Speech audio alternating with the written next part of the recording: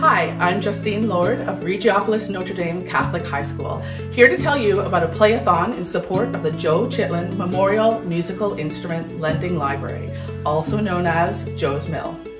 The playathon is a great opportunity to tackle a new instrument or build on your existing skills while supporting Joe's Mill.